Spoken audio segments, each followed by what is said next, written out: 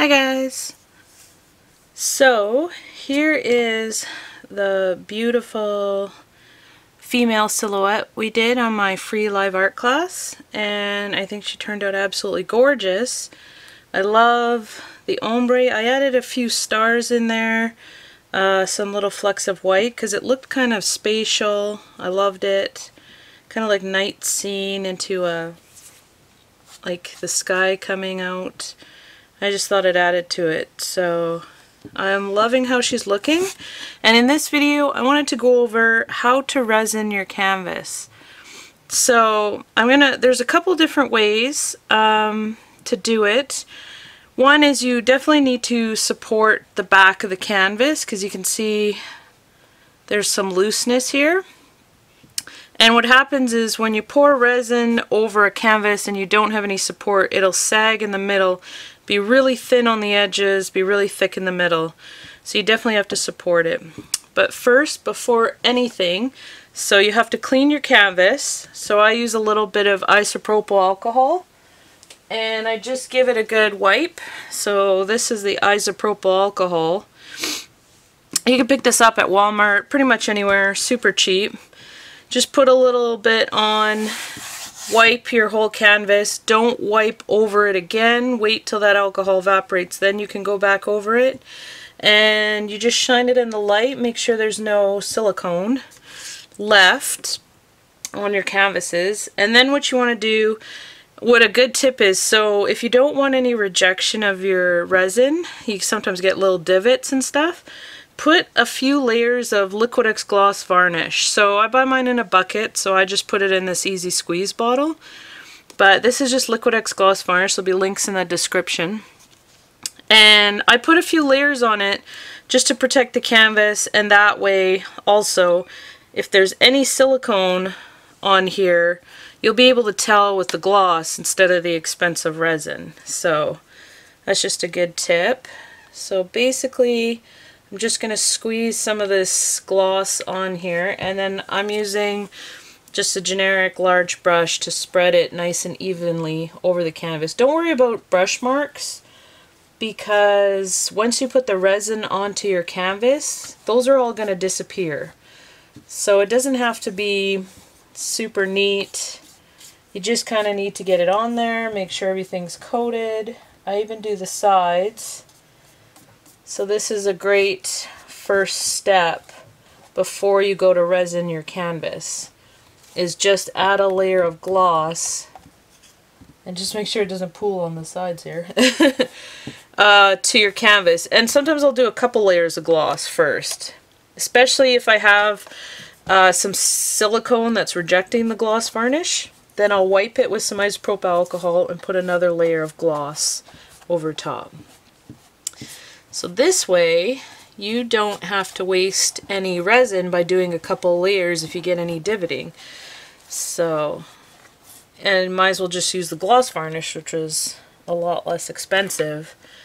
Just to find out if you do actually have any silicone pockets or any silicone left on here. You'll actually see it once this Liquitex gloss dries, you'll see it has rejected on that area and you could just clean it up with some more isopropyl alcohol and that way you could do another coat and your resin will be safe. So we're just gliding it across, making sure I get a nice even coat. And I can just shine it up in the light, make sure she's well coated. I love how she turned out, these gorgeous pops of mauve and stuff and pink it's nice and iridescent, so I'm sure the camera doesn't do it much justice. and there, so I'm going to let her dry. And then I'll come back and we'll go over the two ways to that you can do resin on a canvas. But this would be how I do step one.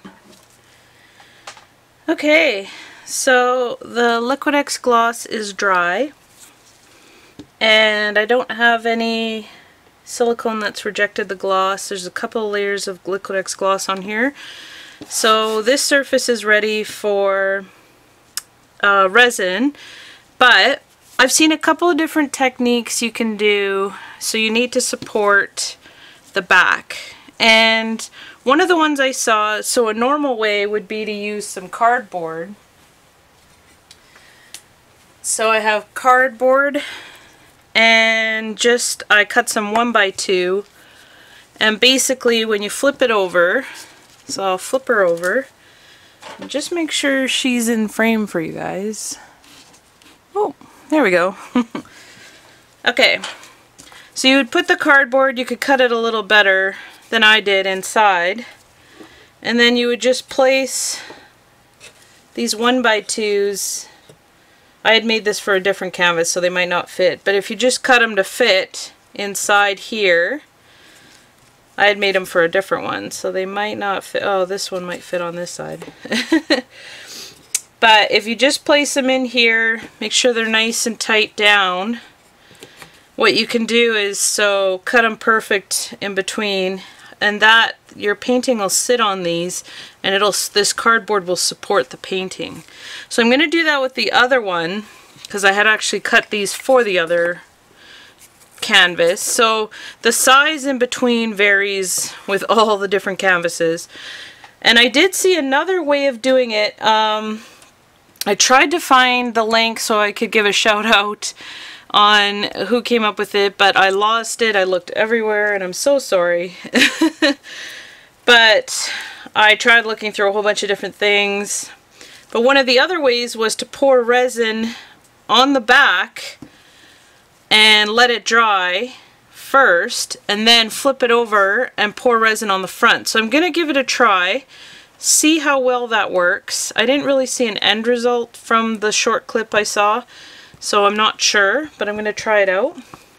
So I mixed up about six ounces of resin. They ask for seven ounces for covering the front. And I got some free glitter here, Glitter Hippo. from Solar Color Dust when I had ordered some stuff from them. And I thought I would add the glitter to make the back of the painting nice and shiny. So this stuff, oh, it's different. It's kind of like a, ooh, well, I'm going to put it all in there. That's kind of cool. It's kind of a purple iridescent line glitter. I thought, why not make the back a little pretty since I'm already putting resin on it to test it out. So I thought I would add some glitter in there. And maybe I'll add a little bit of this blue glitter in with the purple to make it look really pretty. So I got a little bit of whoop, blue. That's gonna, this stuff gets everywhere. that's gonna get everywhere. That was probably way too much glitter, but that's okay. So basically, when you pour the resin on the back, it's supposed to, and once it hardens, it will support the front. In theory, I haven't tried it, so that's why I'm trying it today with you guys as another option for supporting the back. Let's see if it works. And then I'm going to do the usual option where I support it with some cardboard, and that's really pretty. Okay, so basically, I just flipped it over. You don't have to do anything to it. And I'm just going to pour this on. I might have too much resin for this, but this is a 10 by 20 inch canvas. So Uh, you just need a thin layer, I'm sure, for the back just to be supportive. So once this cures, it's going to be super hard and it's going to act just like as a support. And I'm going to push it underneath and spread it around and get it kind of under the stretcher. So actually I might, this might be enough. So I, for a 10 by 20 canvas, I have mixed up six ounces of resin and just added some sparkle. just to make it different, kind of pretty. It's a little bit sparkly. And I'm to just kind of push it up against, whoops, the underside. I don't want it to be raised on the underside. I just want to get some good coverage. Now there is paint on the front, so I'm not really worried. It's not going to go through to the front of your painting. But I think I think this is going to work because it's just going to be a nice thin layer if I can get this kind of pushed into the corners enough. Oops. And maybe not get resin everywhere. okay. I'm just going to spread that out a little bit. Nice and even.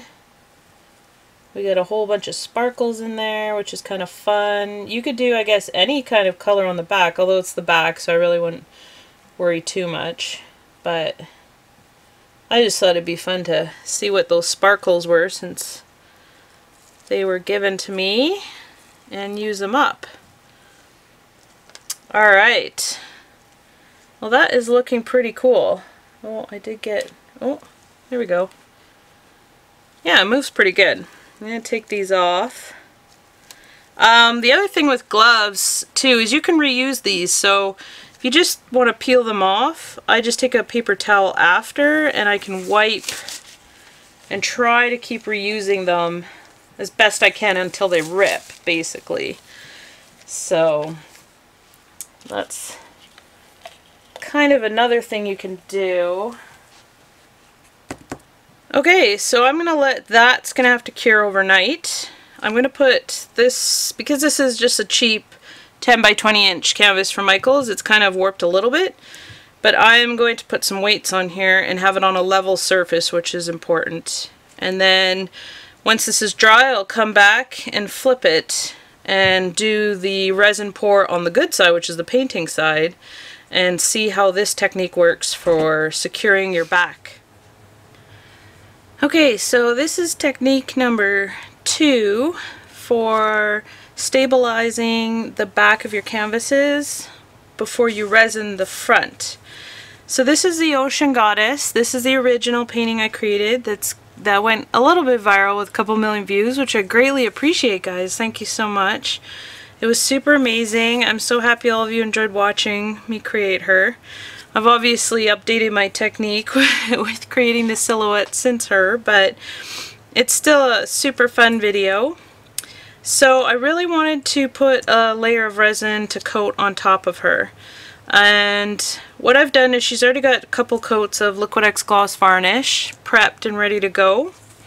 So now I'm going to prep the back side of her. It's very important to tape the edges of the back side of your pieces if you're going to resin the top. That way when the drips of resin happen on the back side, you can just peel this off and get those drips off. And I'll show you that at the end once they're dry. So we need to support the middle. With the first technique, we're going to try resin. This one, I'm just using a piece of foam board you can use a piece of cardboard, whatever you have on hand. I cut this foam board a little bit better so it fits more right from edge to edge. And I'm just going to slide it in, just like so. and yeah, it fits pretty good. Uh, because of the tape here, it kind of sits in there really well and I folded the tape over. I can just go ahead and tape whoops, tape the foam board in so that it stays nice and flat and flush with the edges. Now you could support it also by using these one by 2s So I had cut these to fit right here inside the canvas. And you want to make sure you don't go put too much, like you want to make sure it stays flush so I'm not pushing too much so you don't get a bevel the opposite way and you just want it to support the middle like that. And then you just go ahead and secure everything in there. So before I do that, I'm going to secure the foam board on the inside.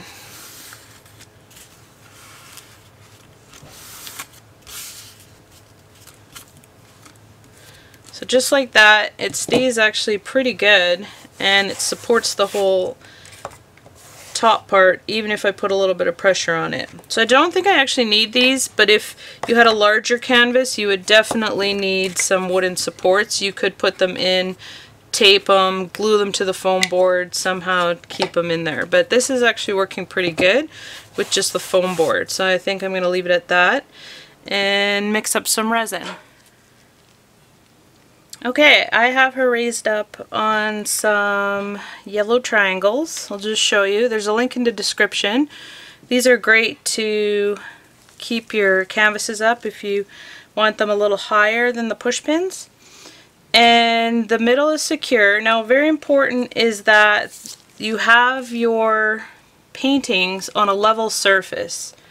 So what you can do is just use a level and just make sure that, see right now, I have to move the bubble a little bit that way, is that she's on a level surface. Because otherwise all the resin would just drip off the end. So what I can do is I can just add a couple popsicle sticks to my yellow triangles in the corners so that it raises it up just enough. Oh, there we go. Just make sure it's all good. And then I just check if it's up high enough and not quite. Let's just check this side. Good to check not only in the middle, but also kind of on the edges and sides and stuff. So these popsicle sticks are not quite, these are the jumbo ones, so they're not quite as thick as the smaller ones. So I'm going to raise her up a little more. This is a very important part of resin, when you add resin onto your painting, is to make sure that they are level. Okay, and secure. Now that's perfect right in the middle. Right there. And I just check no, middle and sides and sides. And then I can check this way, and it's looking really good. So this will help to just alleviate any problems so you won't have it super thin on one side and thick on the other. And you just want to make sure that she's good and clean before you apply the resin. Sometimes what I'll do is I have a little uh, dust remover, air blower, like what you would use uh, on your computer and stuff. And you can just give it a quick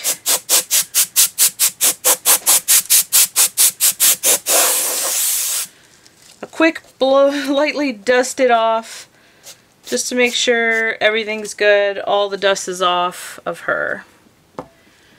And now, since she's level, we have secured the middle back of the painting and there's a lot of bubbles in here.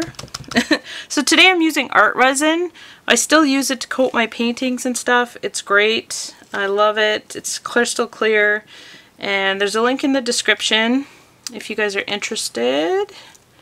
Just want to say a huge thank you to everybody for using my Amazon links. I get a small commission at no extra cost to you guys, and they help me out a lot, so I greatly appreciate it when you guys do that. Alright, if you're ready, now we pour. So I'm going to pour all of it on because it asks for, there is an art resin calculator online to find out how much resin you need for your painting. This is a 10 by 20 inch, so you just put in the dimensions and it'll tell you. So it said 7 ounces. I mixed 8 and should be good. and I also went and got my Lowly Vifi mat, silicone mat that I'm working on today because it's perfect for using resin if it falls off. You just let it dry on the mat and you can just plop it right off. It's perfect. So if you want, there's a $5 discount if you use my code GEN5 and there's links in the description with info for that. Alright, so you just want to smooth it out to the edges. There are spreaders you can buy uh, for spreading your resin around. This is what they kind of look like. They have different teeth. But you can also use a popsicle stick I find works good. And once I get the majority of the resin moved to the edges, then I kind of use my gloves. and I work it along the sides of the painting. So you do have a fair bit of working time with art resin. I think it's like 45 minutes or an hour or something. So I mean that's a lot of time to be able to move it around, get it to all the edges you need to, and work it.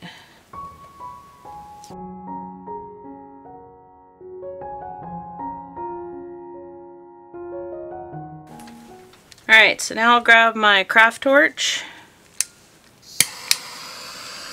And this will help pop all the bubbles and give you a nice clean crystal clear coating. And then once you're done popping all the bubbles, you just want to cover it with a dust protector and let it cure overnight.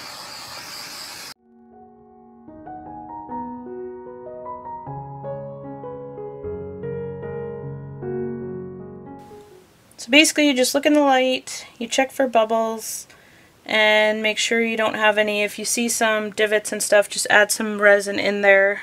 And once I cover this, I'm just going to leave it cure. I might come back and double check on it a few times and make sure that everything's still good. And that's it for this one. And once the other one is dry on the back, I'm going to show you guys, I'm going to resin the front and see how well that works with creating that different technique for the other silhouette and coating it with resin. Okay, so this is dry. I'll just show you the back. It's all nice and dry and hard and it actually makes for a really amazing hard surface. So I'm just going to make sure that she's, oh yeah, in view. so yeah, that worked out really perfectly actually. Um, if you can tell, she's, it's almost like a board it created. So that worked out really good actually to put resin in the back of the canvas. Now you do have to use extra resin then in this process, but if you use canvas, as you can tell, it really worked good to make the surface nice and solid and prepared to do a coat of fresh resin on the painting. So I gave it a good clean up and I'm ready to pour the resin on top. So I'm super excited that this worked out really good. So I've mixed up, this is a 10 by 20 inch canvas, so I've mixed up 7 ounces of art resin for the top. And I'm just going to pour it on.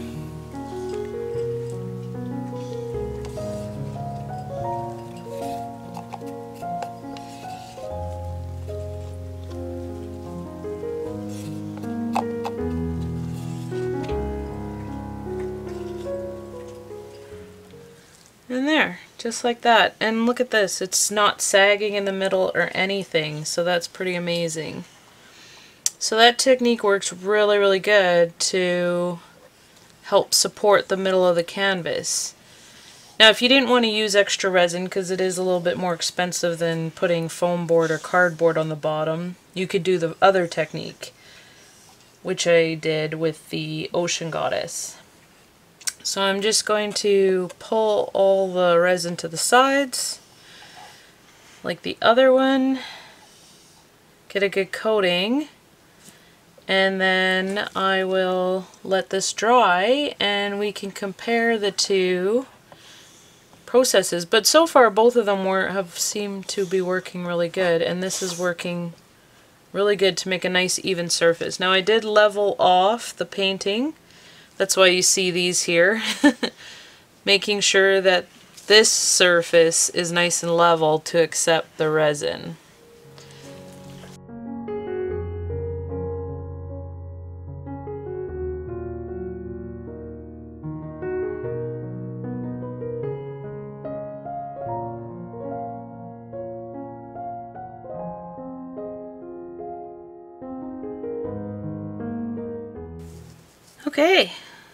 Think she looks amazing.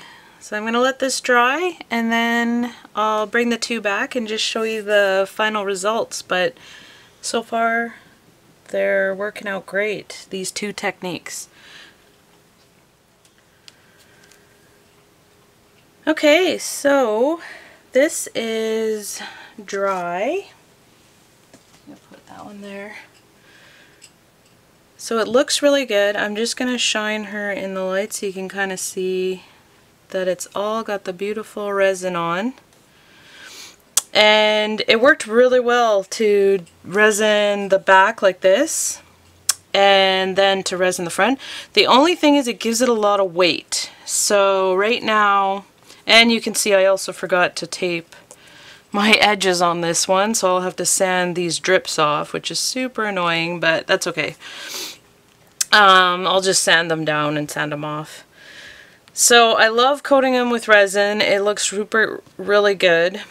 This technique worked really good. The only issue I have is that it gives it a lot of weight. So this is actually very heavy because there's a whole layer of resin on the back as well as the front. So that might be my only issue with this technique. Now the other one uh, is much lighter and I'm just going to swap them out. so this one worked out really good too. Let's make sure you guys can see. and it is significantly lighter. So you can see in the reflection there. We got nice coating. There is a little bit on the edge that ended up rejecting the resin. So I will have to sand this and just do a very thin coat to get that. But other than that, so there's the back taped up. It worked out really good. So that is the two techniques. Uh, I don't mind this one, but like I said, it does have a lot of weight to it. So it was much, much heavier than this technique of just using some foam board to support the middle and then coating it. So I think I would still continue to do it with the foam board, but this one does work really good. I wouldn't want to do it on a very large piece because the weight of it would be extremely heavy. But that's kind of two techniques you can do to support the middle of your paintings so you can resin them. And resin, it, it works great. It seals your paintings in if, you know, you will protect it from damage and water and everything. So, and it makes it super shiny and the colors really pop when you resin the fronts too. So I'll have links in the description below for the resin, and some materials. You could check out my CraftyJenn Amazon store and I greatly appreciate you guys using my links. There's no extra cost to you but it helps me out so I greatly appreciate it. And thank you so much for subscribing, watching, and liking guys. And I hope you guys all have fun putting coats of resin on your paintings to make them really pop and shine. Have an amazing day guys. Thank you.